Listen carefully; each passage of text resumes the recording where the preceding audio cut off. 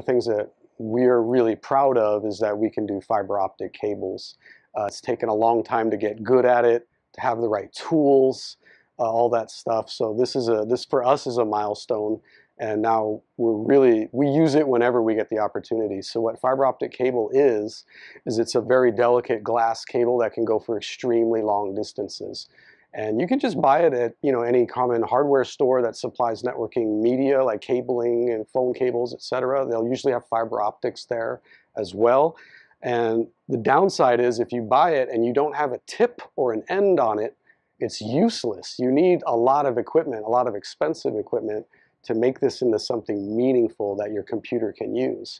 But when done properly, if you lay this cable out, say you need to go across the street, all the way across a school, go from one building to another, one end of a hospital to another, the telephone cords and the computer cords only go so far before their signal just doesn't work anymore. The distance on this when we're talking about a building or a small campus is effectively unlimited. You can go as far as you want with this. Unless you're going all the way across the state, you know, over a mountain or something, then the distance does become an issue. But for premises work, this is as good as it gets. Distance is eliminated as an obstacle.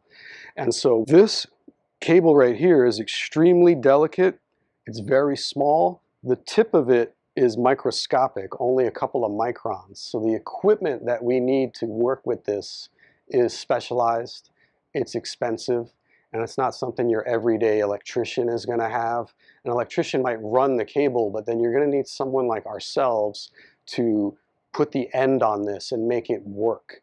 And then because it's so incredibly small, when it doesn't work, you need a whole lot of tools to be able to examine it thoroughly and figure out where the problem is.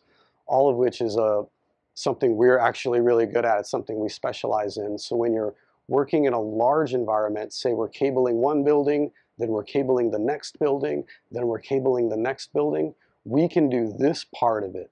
So if you're going to do building after building after building, we will run this part. We'll go between the buildings with this or we'll let your electrician do it, your construction foreman can do it. But then making something meaningful out of the ends, that's where we come in. And then confirming that it works properly is big. You don't want to go to all this expense and not be sure that it's working correctly. So we have equipment that tests it as well as terminates it.